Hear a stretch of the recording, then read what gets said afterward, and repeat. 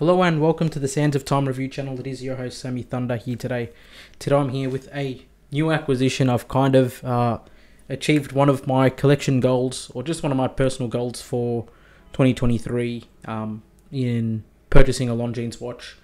A Longines watch that I uh, actually wanted for quite some time. It's from the line uh, line of watches from Longines that I really really like, um, and let's get right into it. It is the Longines Spirit line, um, and it is a very, very special watch in their lineup.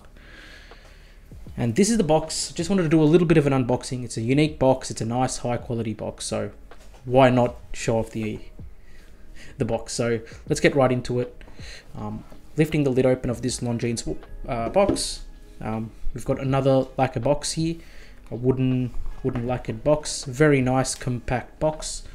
Um, it's very high quality. It feels nice, and with that, uh, within the sleeve of the uh, cardboard box, what we have is a Longines uh, kind of like a wallet, a card holder, um, and it holds your warranty.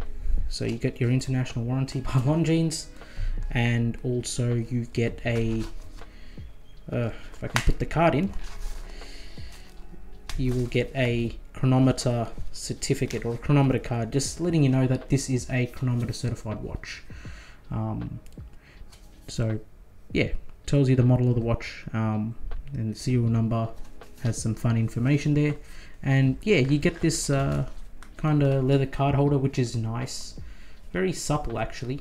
And as usual, you get this very, very thick Longines manual uh, in multiple languages. I will never use this, but nonetheless, we get it. Um, they provide it. And here we go with the box. Now, I have worn this watch. It is not a true unboxing. It's not my first reaction. Um, it is a pre-owned watch. Uh, the owner had this watch for 300 days. Um, it is the Longines Spirit Titanium. An absolutely magnificent watch. I've worn this watch for a total of a week, and I wanted to provide you guys with a initial impression slash an unboxing. Um, so within the box, you know, very nice, soft, kind of uh, cushiony material. Uh, you get this tag here, which pretty much states that, you know, it's got a silicon hairspring, um, and you get very high quality service from the brand. Um, got some spare links uh, from uh, from the watch, and this is the tag with a represented retail price of four thousand four hundred and seventy-five Australian dollars. Um, and underneath this box, yes, you can kind of put some storage material. It's actually useful, but look, it's a nice box. I really do think it's kind of cute because of the size, and let's just get right into this watch. I mean, this watch here is fabulous. It is a Longines Spirit Zulu Titanium. It features a gilt handset, gilt indices, a gilt ring. Um, there's a lot of work gone into this watch um, that I really appreciate. It is so beautiful. They have done a great job in this design. Um, but to get some of the basic specifications out of the way, this is a 40 mil case. Um, it has a lug to lug of 49 millimeters. And look, I'm not including the extra two mils or so that you get from this uh, mail-in links.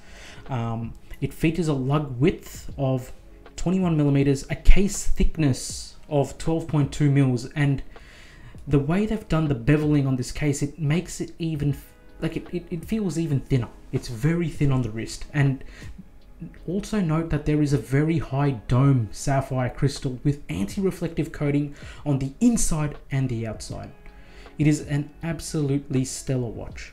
Um, it is grade 5 titanium, right? It is super light and this is going to be one of the only reviews where I'm actually going to show the weight of the watch. Uh, size to a 7.1 inch wrist. Um, as you can see from the dial, it is a chronometer and note it is the 5 stars. It's playing to the heritage. Um, since this is an initial impressions, I'm not going to go deep into the heritage, but this is a chronometer certified movement within this watch. It is the L8884 uh, chronometer movement. Um, beats around 50, uh, uh, 25,200 vibrations an hour, featuring a 72 hours of power reserve. Um, it is a no date caliber, as you can see here. No phantom date wheel, which is excellent. Um, now, into the watch. It's titanium. It's grade 5 titanium. One of the harder grades of titanium to work with and, and finish, like polish, brushing, etc. Um, so that is probably why you notice a $4,475 uh, RRP tag uh, compared to, let's say, the standard uh, Longines Spirit in stainless steel, which is 32 to 3300 Australian dollars, if I am not mistaken. Um, and look, this watch here with the gilt is beautiful. It plays extremely well with the, the light, uh, the indices, handset, the uh, chronometer, the applied, everything's applied here, um, which is just superb. It's no date, it's so clean. It has a matte black dial. I dare say it's not actually a matte black dial. It is an anthracite dial which plays extremely well with the light. So in certain lights it feels like a, a matte grey anthracite, but in certain lights it can appear gloss black.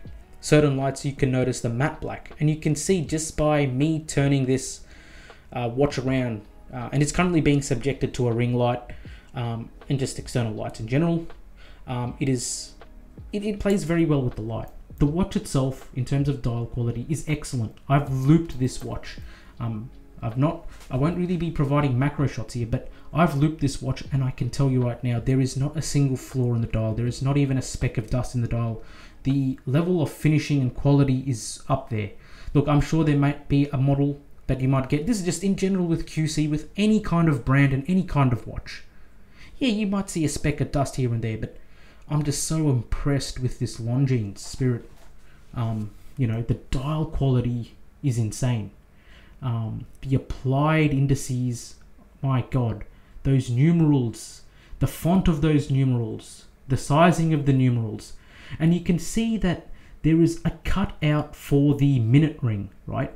And the cutout for the minute ring, if you if you notice, there they've got V-shaped. It's not diamond shaped, but it it allows for those diamond markers on the dial, which are lumed, by the way, uh, to kind of fit in there and it provides such a unique, distinct look. It is absolutely amazing. It is beautiful. Um, the minute ring, you know, it features, you know, all your minute sub, uh, minute track there. Uh, like it features, you know, individual minute reading and even beyond that.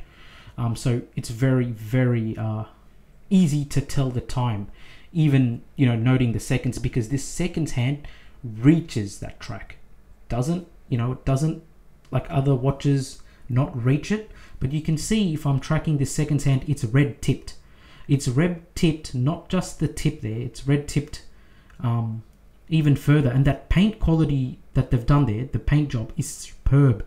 There's the delineation from the metal to the paint applied on the red is excellent. I've looped the watch, it is superb. This watch is I have to say I'm I'm saddened I never purchased a Longines watch before, but this Zulu, Zulu, not Zulu, sorry, but this Spirit line is amazing. Right, whatever watch you get, it's amazing. Um, out of the dial, what is this watch? It's a grade 5 titanium watch and they finished it superbly. The watch is broken up excellently. And this is the case of the watch. The level of finishing, brushing, I'm going to compare this uh, to my Seamaster Professional 300, which I used to own. It has uh, very high quality brushing, and that's what I notice here. It's very fine, aggressive brushing to the sides. The tops are kind of side brushed, brushed to the sides, not vertically. Very aggressive case, very sporty, very sharp. Um, it almost reminds me of a Grand Seiko. Um, if I'm looking at this high polished bevel edges, right, that is on the top part of the case uh, and also breaking this uh, mid part of the case. Like notice how I move my finger, right? The from all directions, from from the start of this case to the end of the case, from lug to lug, what you notice is is that it's actually a very high polish. It is mirror finishing that is distortionless. It's it's mechanically done. It's not going to be as good as a Grand Seiko, but it is honestly, I can't tell much of a difference in that finishing, right? The finishing on this watch is superb uh, from what, you know, is offered from Longines. Um, it is a beautiful watch.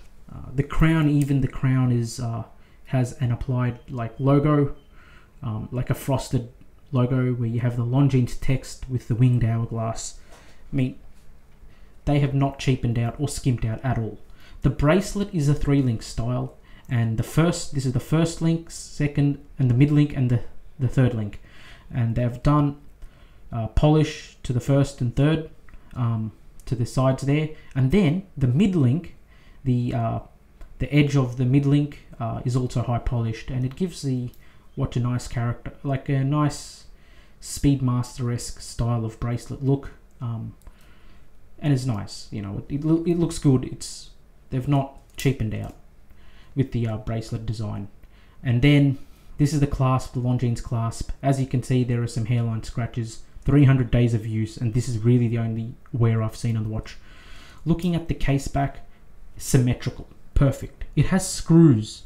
Um, it's not a screw-in case back, but it's screwed in with, uh, I believe, six screws. Um, 100 meters of water resistant 10 bar uh, grade 5 titanium is stated. It has all that information there. Great. Offers you five years of warranty on the watch. Yeah, superb. Um, in terms of the weight on a 7.1 inch wrist, let's use this kind of kitchen scale. I'll turn it on. Let's see uh, what we get here. Now it's on zero. And what I'll do now is place the watch here. It is currently 89 grams. That is super light.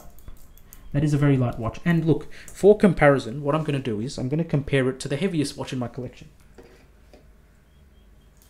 And that is no doubt a diver. I believe this is the heaviest watch in my collection. This is 183 grams. So it's almost, it, it is literally half the weight of this watch. I don't mind wearing heavy watches, but this Longines Spirit Zulu Time is um, excellent. Like in terms of weight, it's so comfortable. You don't really feel it on the wrist and it wears well. To do a bit of a wristwatch check, sorry, a wristwatch check, I'm wearing the Grand Seiko, the SBGJ 235. This is a great watch as well, and it's currently on a strap. And if I'm going to measure this watch, let's see, let's see the weight. And this is head only, excluding the bracelet. 83 grams, so it's just a bit lighter than the Longines Spirit Zulu time, which is 89 grams. So it's like, uh, you know. Now, on the wrist, how does this wear? This is the Longines Spirit Zulu time. You look from from the wrist itself, it's very thin. Uh, it has a 49 mil lug to lug, so I recommend this watch really to six and a half inches or above. It is the yeah, for there is a 42 mil variant of this watch, but I have the 40 mil variant of this watch because I feel like this is what suits my wrist. Um, but it looks and feels amazing. If I had one mechanical watch in the collection right now, I'm going to be honest right now. I have to say I'd keep this Longines Zulu Time over any watch I have, regardless of price point. This is a tremendous value for money. If you can, you know, usually you'll be able to get at least a 20% discount on Longines at least uh, from an authorized dealer, which is great. You buy it pre-owned, you'll probably you'll get more. I I bought it from someone. I, I'm not even sure. When I met the person, he was like, I don't even know why I'm selling this watch. And he's selling it, he sold it for dirt cheap on eBay. And I had the coupon offer. And I was like, this is exactly what I wanted. And I told myself that I wouldn't really purchase any other watches for a while after the um, SBGJ 235. But I have to be honest, man, this, this watch here I highly recommend this watch, even though this is just an initial impressions. This watch is amazing. Um, it has easily become one of my favorite watches. I know this is the honeymoon stage, but this is unlike any of the other watches I've owned, um, except for the 221. Uh, I have a connection with this watch. It is a keeper in the collection. It is great. It is high quality. Um, the way the dial plays with the light, uh, the reflections or you know the gilt in certain lights when you see all the gilts from natural lighting just light up that is not offered by any other watch in terms of having this arabic numerals right like i know grand seiko will have this or watches you know far exceeding the price point but this is superb this is functional this is what i call one of the best, probably the best everyday watch. Let's be honest. Titanium is such a good material for this. But, you know, this is an initial impressions. I will provide a solid review of this watch, and you can tell right now that I don't think I have many bad things to say about it. This is worth its full retail price. In retail price, it's competing with watches like the Black Bay 58 on a leather strap. Um, look, let's compare apples to apples. That's a diver. This is not. Maybe it competes with the Black Bay 36 or 41. Um, many watches out there. This is such a solid offering, really, uh, from the Black Bay 58. It is an alternative to the 58, I'd say. Um, this no longer makes me lust for a 58. Uh, in terms of Tudor, look, I don't know what I'd get like for a diver, but this watch here is, in my opinion, it is worth the retail price. Even this Longines Zulu time, if you can wear this watch, if it fits the wrist, those this line of watch is stunning. It is it is great. Longines is in the right direction with the um, Spirit line and also the Heritage line. I am, you know, all for Longines. I'm a big supporter of the brand. Um, I really have nothing more to say. The lume on this watch is killer. Um, if I can, oops, I'm not turning off. I can't really. How do I show lume? It's going to be a bit difficult, but can probably see the lume is a blue lume. Uh, it is very potent. It is evenly applied. You will never notice there is no. It is uniform application of lume, right? There are watches priced at thirty thousand dollars which don't do this, but they've nailed it down in terms of the perfection that this watch offers. I'm very happy. Thanks for watching. It's the sands of time. Peace.